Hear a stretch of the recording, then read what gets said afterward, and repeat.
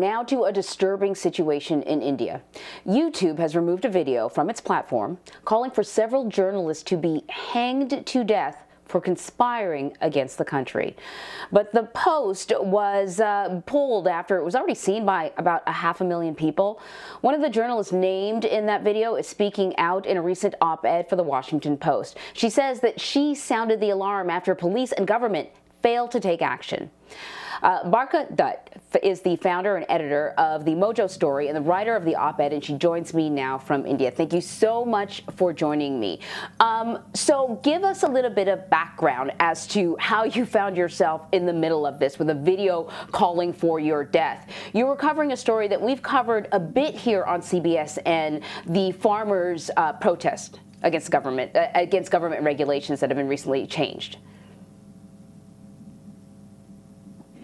Hey, Anne, uh, thank you for having me. And you're right, uh, the backdrop was the farmers' protest. These are farmers who have been uh, sitting on the streets at the borders of India's capital for more than three months, protesting legislation that they say will allow big business to take over India's agriculture.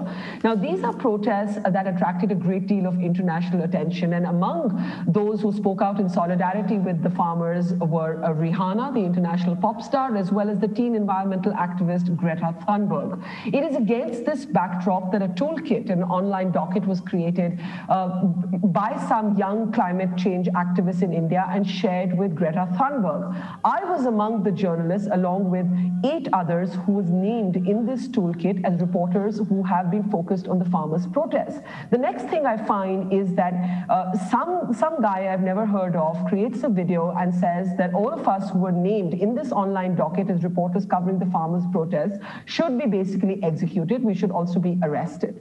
And I, you know, I could have ignored this uh, if this were a troll, uh, but this video was watched by half a million people. And although YouTube took it down, uh, it continued to be reshared on several other uh, platforms. And if you do a Google search, you can still find this on certain websites. And what is worse is that four uh, political leaders who are affiliated with the ruling party, the BJP, actually supported the video. And that is where we understood that this cannot be taken lightly and it cannot be ignored. And those calls uh, for the arrest of journalists, for the hanging, represent a larger environment of uh, media intimidation that is a very, very real part of our lives as functioning journalists in India today.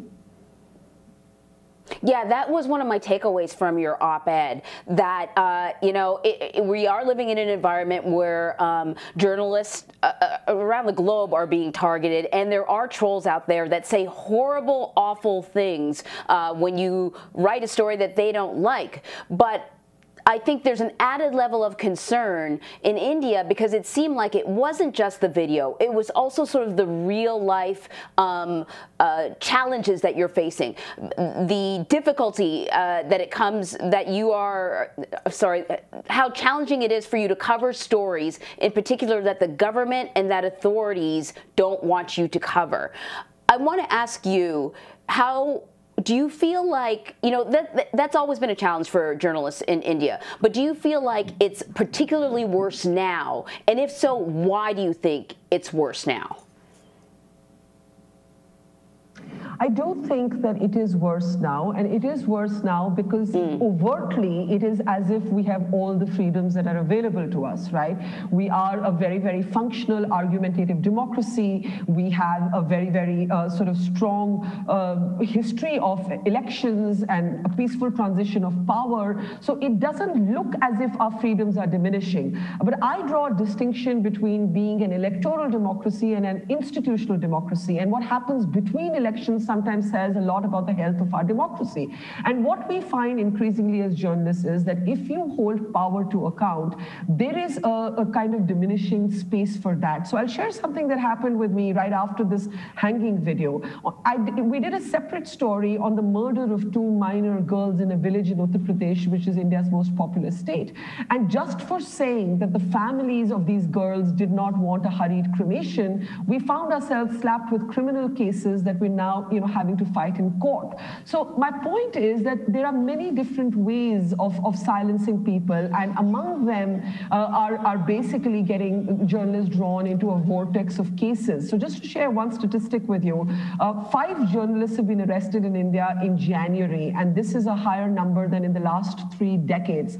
67 journalists were either questioned, uh, detained, or arrested in the year 2020. And India has slipped two places on the World Press Freedom Index. So something's clearly going on here. I would have ignored even um, that hanging video were it not endorsed by four powerful politicians, uh, you know, maybe not very famous politicians, but certainly four blue ticks on Twitter. They're verified handles on Twitter, uh, politicians affiliated to the ruling party who actually endorsed this video. So that makes you step back and go, hey, something's happening here. And basically what that something is, is telling journalists, step in line, otherwise we'll harass you and we'll make you constantly look over your shoulder before you criticize us the next time. Right, and so there's the government essentially co-signing on uh, its behavior, some elements of the government, but then there's also the social media platforms. You know, we said that this particular video, a half a million people saw it before it was pulled off um, YouTube. What's the role, in, in your opinion, what is the role of these social media platforms? Are they doing enough to, um, to police this sort of behavior on their platforms?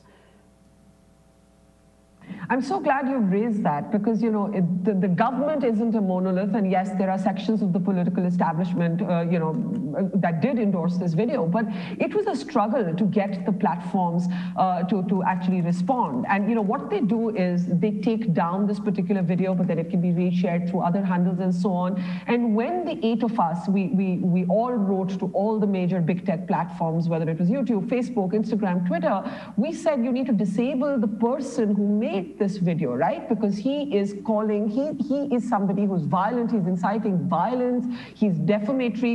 But mm-hmm. that this person, the gentleman who made this video, still has functioning accounts on all of these platforms.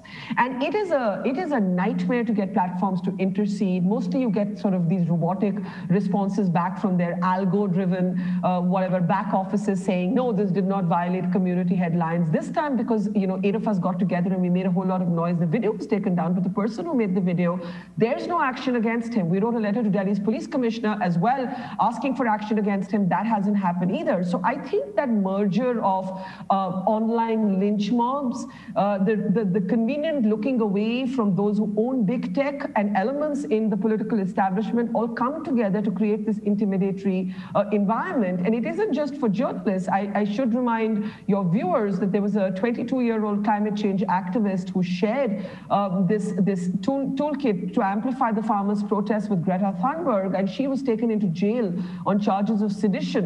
So, you know, we're seeing a larger environment, and social media, instead of setting us free, which was its original uh, sort of goal, has actually made mob behavior and even violent online mob behavior very, very uh, possible. And because of the nature of technology, it's very difficult to have safe spaces online, in particular for women, and in particular for women journalists who are outspoken and won't, and, and won't be silenced. Mm-hmm. Uh, Barkha, we have to leave it here. Thank you so much for shining a spotlight on this. Keep doing your good work and please stay safe. Thank, Thank you. you. Thank you for having me.